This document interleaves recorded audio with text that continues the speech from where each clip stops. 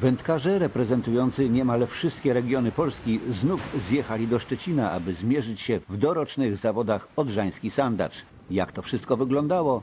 Zobaczcie sami.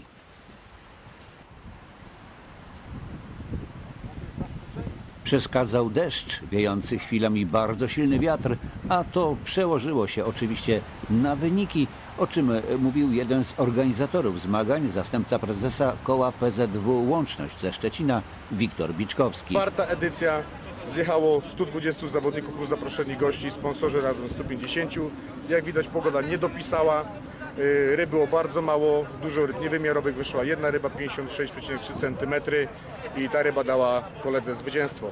Jako przyłów piękny szczupak 88 cm. Też została udzielona za to nagroda. Mam nadzieję, że w przyszłym roku będzie lepiej. Staramy się jak możemy i będziemy starać się, aby to było jeszcze lepiej niż do tej pory.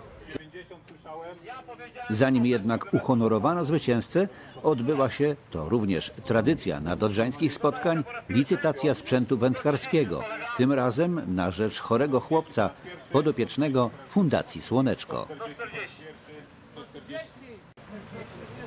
140 tu powiedział kolega.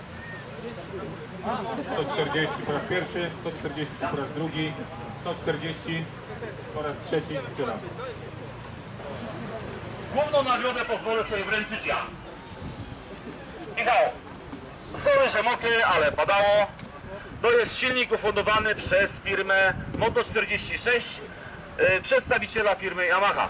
Michał, gratulacje. Niekwestionowanym zwycięzcą został Michał Nizel ze Szczecina. Było ciężko, ciężkie warunki były przede wszystkim. E, wiatr dość silny, który, który utrudnił nam wędkowanie zdecydowanie, bo preferujemy lekkie wędkowanie. Niestety z racji tego uciągu i tego, tego wiatru no, musieliśmy przejść na cięższe zestawy. E, no, udało się. Udało się. Ile miał ten sandacz? 56,3 cm.